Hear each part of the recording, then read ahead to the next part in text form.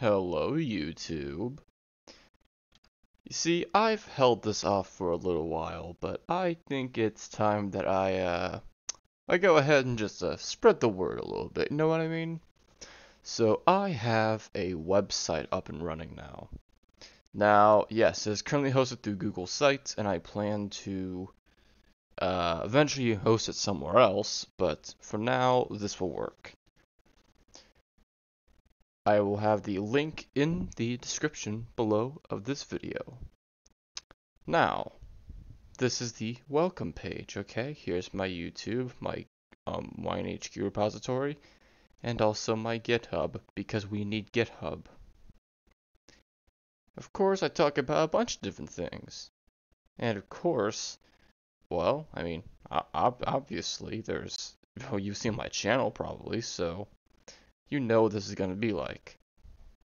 And of course, I have instruction manuals, which I'm currently working on another one right now. There's not much of an instruction manual, more of a short little PSA or a book.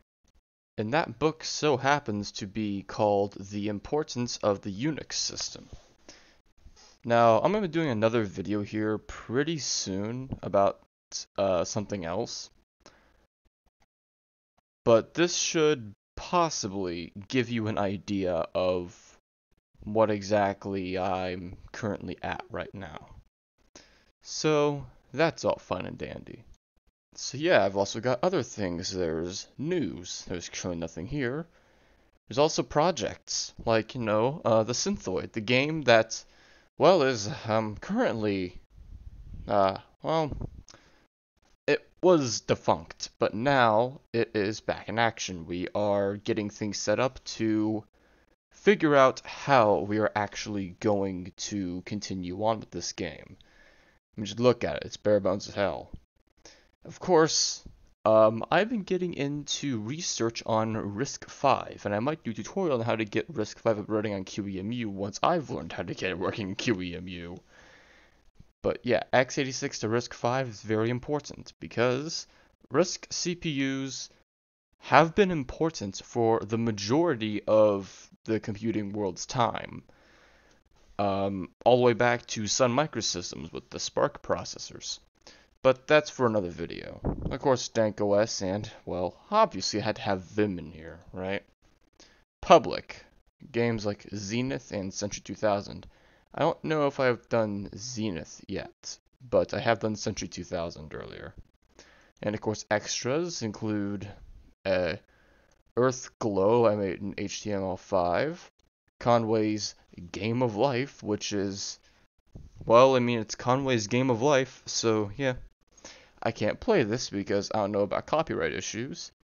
And of course, we have the Unix tree. But it is pretty, um, pretty, uh, should we say, well, it, it's missing a few things, that's for sure.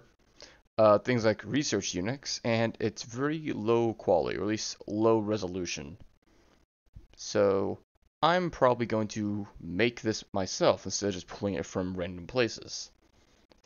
Because we do see that it's missing the Unix-like connections to things like um, OpenStep and Unix like connections to things like BSD and Research Unix. So, also missing things like Open Indiana because, well, Open Solaris is gone. So, yeah. And that's probably spoiling the next video a little bit more.